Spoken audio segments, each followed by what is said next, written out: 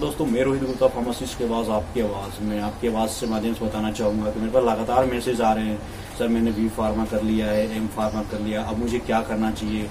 किसी तरह का जॉब नहीं दिख रहा है। तो मैं उनको बता देना चाहूँगा कि जॉब अपॉर्चुनिटी जो है, बहुत सारे सेक्टर्स आ चुके हैं, जहाँ पर आपको कोशिश करने की ज़रूरत है। सिर्फ़ जॉब इंडस्ट्री या मार्केटिंग का ही नहीं है, बहुत सारे ऐसे जॉब है जहाँ पे आपको शायद पता नहीं होगा। यानी हमारे देश में अब फार्मा आईटी का भी कल्चर आ चुका है। फार्मा आईटी मतलब ये आईटी कंपनी अब फार्मा कंपनी का प्रोजेक्ट करती है।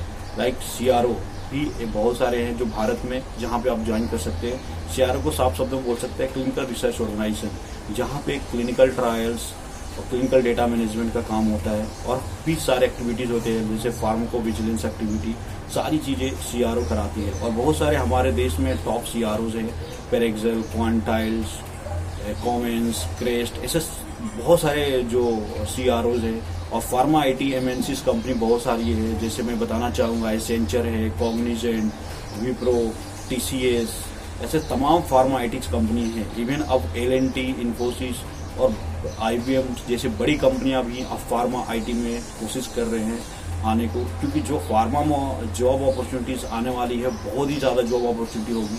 थोड़ी स्टार्टिंग में थोड़ी इन कंपेयर में आईटी सेक्टर थोड़ी सी कम होती है बट धीरे धीरे धीरे आप यदि एक्सपीरियंस होते जाते हैं तो उसके बाद आपकी सैलरी अच्छी हो जाती है। पर आपको ज़्यादा टेंशन होने की ज़रूरत नहीं है, और ज़्यादा आपने वी फॉर्म एम फॉर्म कर लिया है तो आप इन सेक्टरों में आ सकते हैं।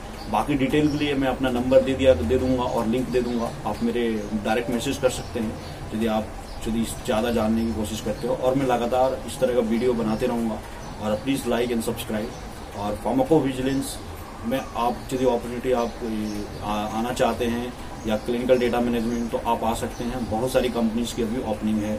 आप लगातार आप हर कंपनी की पोर्टल और अपनी नौकरी डॉट कॉम पे सीवी अपने अपडेट करो।